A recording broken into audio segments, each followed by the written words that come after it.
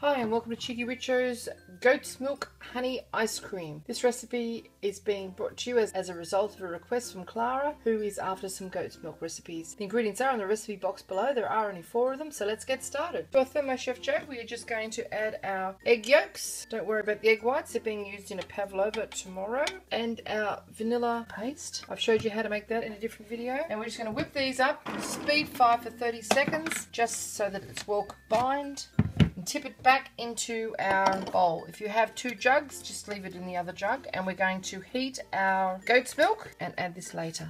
The little specks you see there are the seeds and things out of the vanilla paste. Scrape all that out. Don't worry about washing it. Now we're going to add our goat's milk and our honey to the same jug. Now goat's milk has significantly less lactose than cow's milk. Honey goes in now.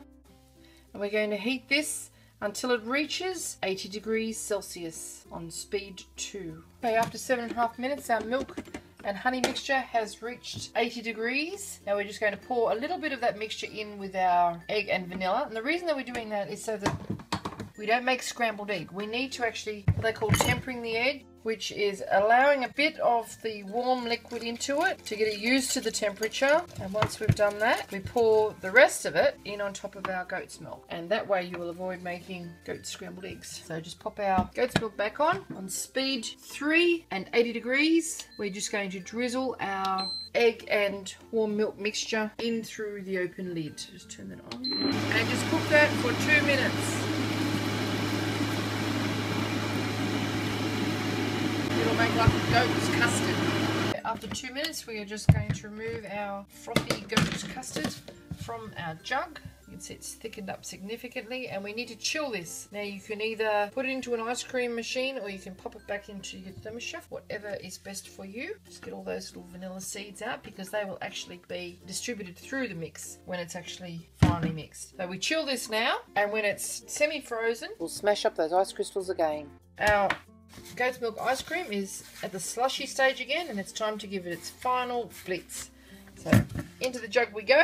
20 seconds on speed 8. We just tip our goat's milk ice cream back into our container and refreeze it. Okay, it's time to serve our goat's milk honey ice cream. So we just got it out of the freezer. It's lovely and creamy. Look at that. Pop it into our bowl. Give it another scoop. We're going to serve that with a brandy snap and I've showed you how to make those in a different video.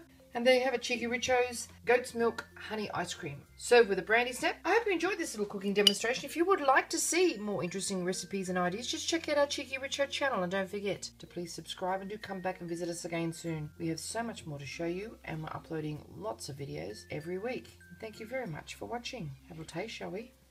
Mm. You've got vanilla, you've got honey. It's more like a gelato than a creamy ice cream, but it does taste delicious. Little bite of our brandy snap. And they're all honey and gingery too. Thanks for watching. Yum.